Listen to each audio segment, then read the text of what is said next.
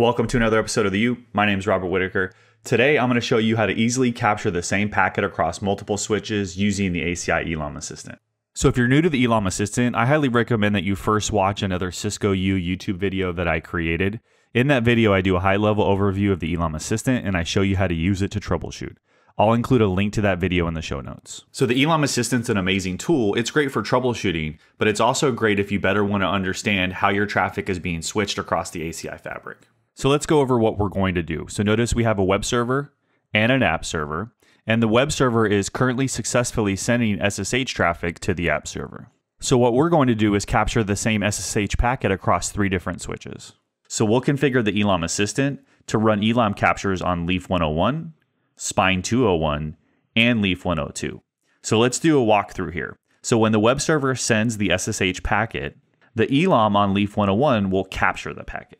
That packet will then get switched to Spine 201, and then the ELAM on Spine 201 will capture the packet. And that packet will then get switched to Leaf 102, and then the ELAM on Leaf 102 will also capture the packet. And finally, the packet will then get switched to the app server.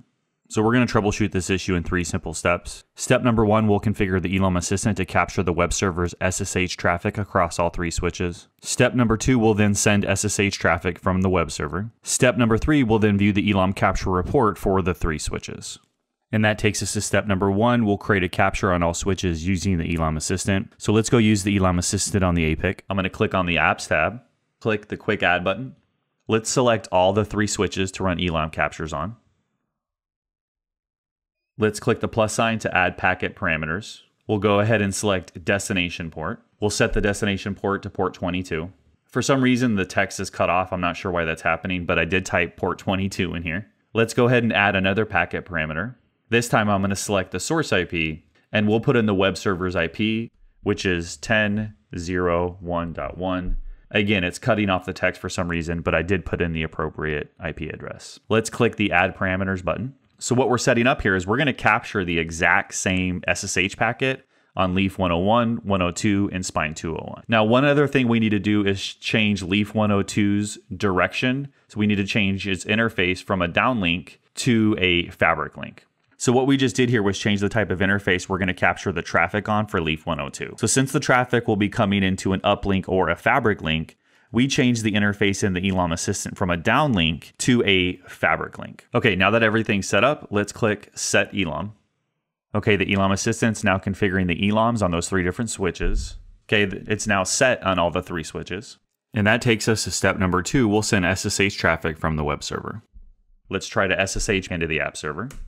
Okay, we're able to attempt to do that. Next, let's go back to the Elam Assistant. We'll click the check trigger button to see if the Elam's captured traffic. Boom, there we go. We're generating ELAM reports for each switch. We can see now the reports are ready. And that takes us to step number three. We'll then view the ELAM capture report for the three switches. So let's click on Leaf 101's report. If we go down, we can see the traffic came in on interface 1.3 on Leaf 101. If we move a little bit farther down, we can look at the forwarding result. We can see the, the switch did not drop the traffic, in fact, we can see Leaf 101 switch the traffic out interface 149 towards the spine. Next, let's check spine 201's ELAM report. We can see the spine switch received the traffic on interface 11. And we can see the spine switch did not drop the traffic. It switched the traffic out interface 12 going to Leaf 102. Next, let's look at Leaf 102's ELAM report.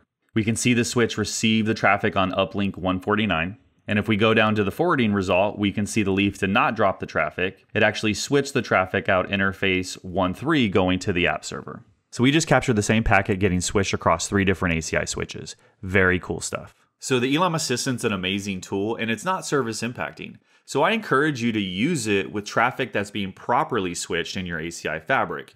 That will enable you to get really proficient with using it then, when you have to troubleshoot with it, it's going to be easy. You're going to really know how to work with the Elam Assistant. Now, if you want to learn more about ACI and the Elam Assistant, you can go to uh, Cisco U. So just go to u.cisco.com. Uh, one of the courses that we cover the uh, Elam Assistant in is in the DC ACIO course. Now, outside of Cisco U, I do teach an instructor led training called Cisco Operations and Troubleshooting Bootcamp for ACI.